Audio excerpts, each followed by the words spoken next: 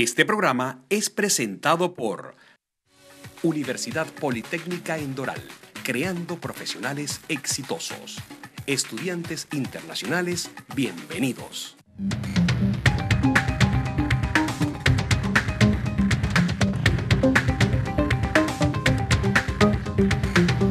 Amigos, continuamos acá en Dígalo, aquí en compañía de Ángel Martínez, quien es detective internacional y quien ha tenido más de dos décadas de experiencia en trabajo con agencias eh, de inteligencia acá en los Estados Unidos. Conversábamos sobre esta situación de vulnerabilidad en la que se encuentra esta nación con lo que podría ser eh, un futuro a mediano o quizás a largo plazo del cambio de estrategia que hay que hacer por la modalidad que el enemigo está utilizando. Hablamos de que Rusia se ha preparado para tener una legión de hackers quienes se encargaban de hacer tramoyas, de hacer trampas y que ahora están dedicados a otro tipo de hechos y que atentan contra la seguridad nacional y que hay que ponerse a nivel, pero ¿está los Estados Unidos a nivel de enfrentar esa amenaza?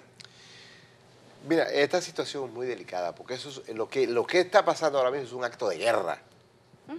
Es un acto de guerra. De otra generación. Pero ¿qué, qué, qué, es lo, qué es lo peligroso y lo preocupante? es que el presidente elegido niega eso y dice que no. Y no solamente eso, no solamente eso, que él incitó. El presidente Donald Trump decía que los rusos nos ayuden a ver los emails de, Hillary Clinton. Entonces, es una situación muy delicada. Ahora, otra situación muy peligrosa es con los servicios de inteligencia.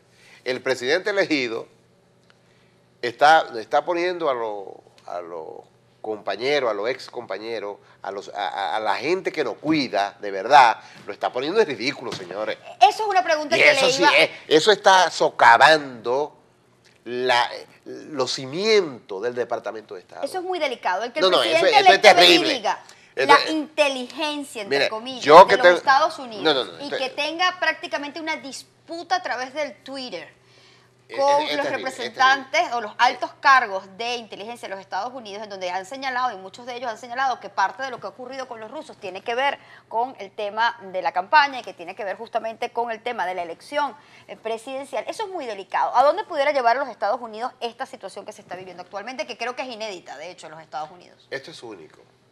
Eh, bueno, ellos hubo un presidente que se rebeló contra los servicios secretos, los servicios de inteligencia, que fue Kennedy, lamentablemente Pero eh, lo que está pasando hoy en día es que los servicios de inteligencia se han reunido con Donald Trump y le han dicho, mira, esto es lo que hay, tenemos pruebas contundentes de que esta gente fue que nos atacó. Y él no. Pero ese acercamiento que tiene Donald Trump con, con los rusos, porque hay que admitir que los rusos son nuestros enemigos. Yo trabajé en Europa por cinco años, inteligencia, y los rusos son nuestros enemigos. Eso es, los rusos y los chinos son nuestros enemigos. Lo que pasa es que los chinos son más hábiles que, los, o sea, los chinos son nuestros enemigos silenciosos. Los rusos son nuestros enemigos en la pantalla. Y lo que están haciendo los rusos ahora es monitoreando esta situación porque van a salir ganando al final. Ahora tienen a un Donald Trump que es amigo de ellos, está claramente que está diciendo que es amigo de ellos y que es aliado de ellos.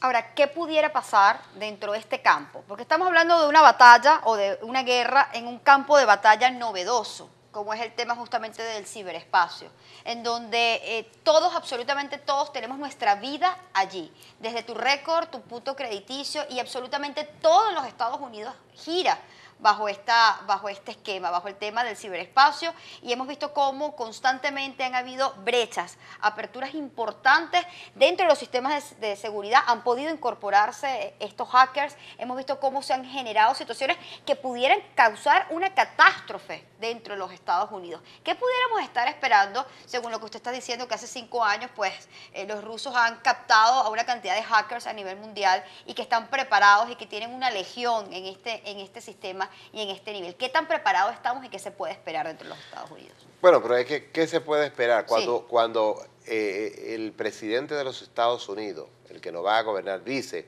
que no necesita un reporte de inteligencia diario? ¿Qué se puede esperar? E, es increíble, porque un, un mandatario que le diga al país que él es muy inteligente y que no necesita un reporte diario de los servicios de inteligencia, bueno, yo no me atrevo ni siquiera a opinar. E, es terrible lo que, lo, que, lo que nos espera. Dios quiera que San Pedro nos ayude a ver, a ver si las cosas caminan de otra forma y este hombre se deja guiar, porque la cosa dentro de los organismos de seguridad de los Estados Unidos, con toda su falla que tienen, que vienen arrastrando desde, desde, tiempos, ¿no? Sí. De que creen que gastar el dinero es una mala inversión en, en seguridad y en conocimiento, que es lo que le va a dar el poder a los Estados Unidos, que es lo que va a mantener a los Estados Unidos con el poder que tienen hoy en día.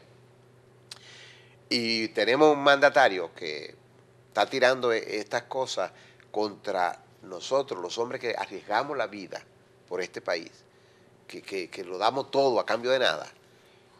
Eh, es lamentable, pero no es bueno lo que Usted decía Ahora, disculpa, Yatsu. Ángel, en virtud de esta situación que pareciera que está trancado el juego dentro de la situación que atraviesan los servicios de inteligencia ante la falta de apoyo y ante la omisión que pueden tener algunos altos funcionarios de querer invertir en pagar por información, ¿qué debe hacer el ciudadano? Porque también es deber de los ciudadanos aportar ante una responsabilidad que debe ser compartida entre todos los integrantes de una gran y poderosa nación que todos aspiran a vivir a una libertad que no solamente debería ser garantizada, no solamente por las autoridades, sino también por quienes habitan, caminan y hacen vida en los Estados Unidos.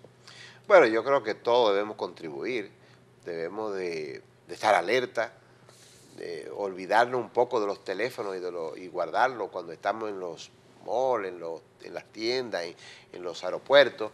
Debemos estar alerta a todo lo que está pasando, porque si, nosotros no nos ayudamos unos, a los otros, eh, eh, este país está por un camino muy malo.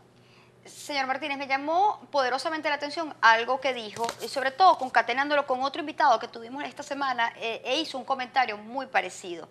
El hecho de que el señor Donald Trump, presidente electo, y que ya el 20 de este mes toma las riendas del país, tenga una constante pelea con los servicios de inteligencia, y usted hizo, eh, y dijo, eh, ya esto ha ocurrido en otra oportunidad, y fue con el presidente Kennedy, y ya sabemos lo que ocurrió. Hace, hace unos días uno de nuestros entrevistados dijo, debe dejar la pelea el señor Trump con los servicios de seguridad, porque son los que los cuidan, son los que realmente tienen su vida en sus manos y realmente está poniendo su vida en peligro. Eh, hay, hay grandes trabajos en donde señala que ser presidente de los Estados Unidos es uno de los oficios más peligrosos del mundo en función de cuántos han habido, cuántos han fallecido en, funciones y que, y que esto pues parece mentira, es una, una, profesión de alto riesgo. ¿Pudiéramos estar hablando del riesgo de la vida del presidente de los Estados Unidos en función de esta pelea titánica que ha tenido el señor Trump, por lo menos vía Twitter, antes de tomar las riendas de, de este país? Todos los presidentes que llegan a la Casa Blanca tienen riesgo. Mira Obama, en los primeros cuatro años, 2.726 atentados intentados. Y el público, no eso no llega al público.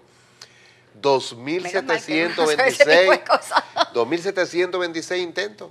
Ahí lo tiene el Servicio Secreto Interno. Eso me llegó a mí. Y le llega a mucha gente. Durante los primeros cuatro años. durante los primeros cuatro años. Ahora, lo que pasa con Donald Trump es que la pelota que se está jugando aquí es muy delicada, porque además de todos los enemigos que tiene un presidente de los Estados Unidos, también está en disputa con la gente que en verdad nos da la seguridad a nosotros.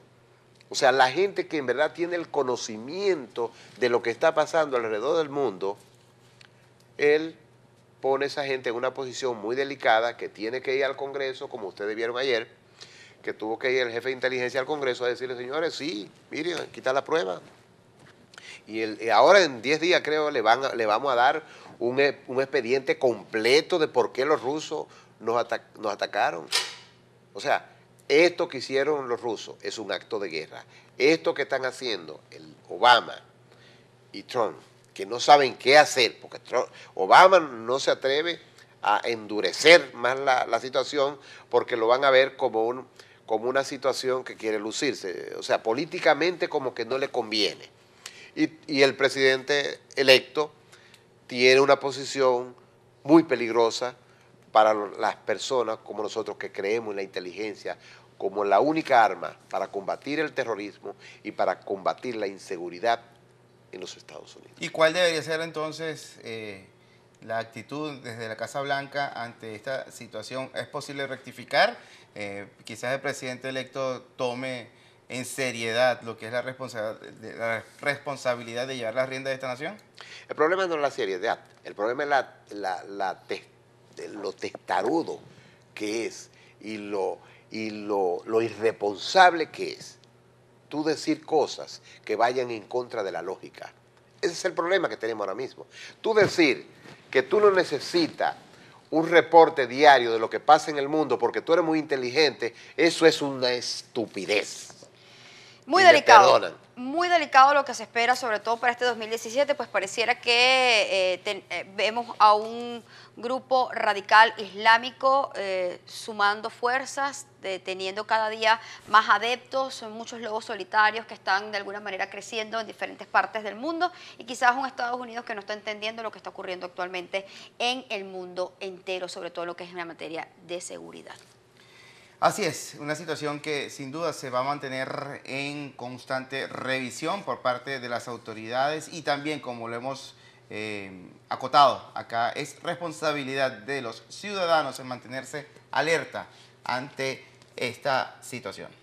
Muchísimas gracias Ángel Martínez por acompañarnos el día de hoy, detective internacional. Trabajó 28 años dentro de los servicios de inteligencia de los Estados Unidos por acompañarnos y sobre todo dar luces de lo que se puede esperar eh, para este, este 2017, donde hemos visto esta situación tan tan, pero tan delicada. Esto es parte de lo que se ha generado a lo largo del día de hoy. Antes de despedirnos, vamos a tratar de hacerlo con buenas noticias y específicamente vamos a hablarles de menta y canela nails, que ahí lo ven en pantalla. Visítalos allí en el Doral, entre la 26 y 12 del Northwest con la 93 Avenida. Allí encontrarás un cómodo estacionamiento en el 9572 Northwest con la 41 Street. Hay un excelente vale parking, allí pueden mm, simplemente estacionar y se encargan de todo. En menta y canela tienen la más amplia gama de colores, productos de las mejores marcas y de las últimas colecciones. Ofrecen para ti un excelente cuidado y atención en los servicios unisex, que se los digo yo, que he sido testigo de ello. El mejor manicure y pedicure que siempre encontrarás a un precio maravilloso, 19,99 dólares. Además de ello, no solamente te puedes hacer las uñas y los pies, sino también tienes el wax para eliminar cualquier exceso de vello en nuestras cejas y bozo a un precio increíble. Reservar es muy sencillo. Llama ya al 786-452-0363. Allí vas a tener una contestadora en inglés o en español. Obviamente presionas el idioma de tu preferencia y allí también te dirán en cuál dirección, según se te sea más cómodo, deseas ir. Seleccionas ello y simplemente reservas tu cita. Llama ya, recuerda el 786 542 0363 6-3. Yo aún ando de rojo, Pernalete. De rojo Navidad, todavía las tengo, mira, de rojo Navidad. ¿Son de la Navidad pasada, del año pasado? Sí, señor, mira cómo me han durado. Sí, porque es que le cuesta un poquito aflojar a ella. No, no, no, no, así no es, Perralete. Se nos fue el programa por el día de hoy. ¿La invitación para cuándo? Para el próximo lunes, si Dios quiere y la Virgen, amigas y amigos. Recuerden, todos son importantes en esta América. ¡Es viernes! Este programa fue presentado por... Netcargo, soluciones logísticas, carga aérea, marítima o terrestre. Recibe tus compras a tiempo. 305-487-8770. Yatsu López se viste en De Moda Miami, vestuario y accesorios para la mujer de hoy. El manicure y pedicure de Yatsu López es cortesía de Menta y Canela. Visítalos en sus dos direcciones en Doral.